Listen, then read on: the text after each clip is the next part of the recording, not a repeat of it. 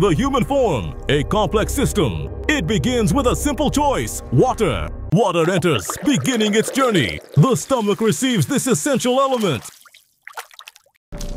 Absorption. The intestinal wall draws in life, delivering hydration directly to the bloodstream. Hydration spreads. Every cell, every organ, every muscle, refreshed, rejuvenated.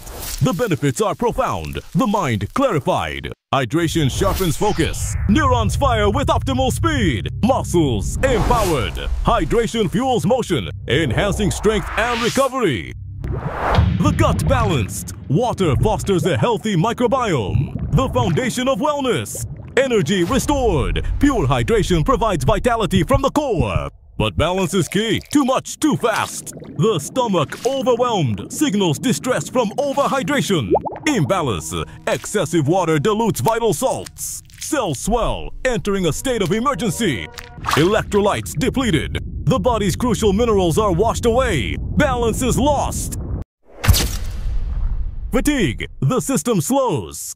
Energy fades. A dangerous consequence of imbalance. Water, essential for life. A power to be respected. A balance to be maintained.